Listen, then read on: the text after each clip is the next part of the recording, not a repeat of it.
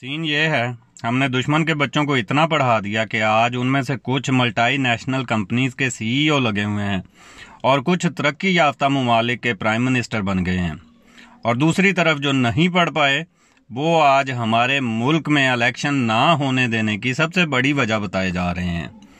और जिन बच्चों की हक तलफी करके हमने दुश्मन के बच्चों को पढ़ाया है, उन अपने बच्चों को हमने आज आटे की लाइनों में लगा रखा है।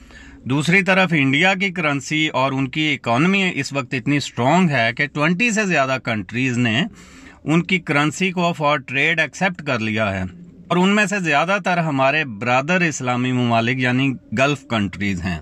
लेकिन ज़्यादा मायूस होने की ज़रूरत नहीं है, क्योंकि इस दौरान पिछले पचहत्तर साल में हमने दो बड़ी अचीवमेंट्स की हैं। एक तो हमारे फौजी का पाँव इंडिया के फौजी से ज़्यादा ऊपर तक जा रहा है और दूसरा टी वॉज़ वेरी फंटेस्टिक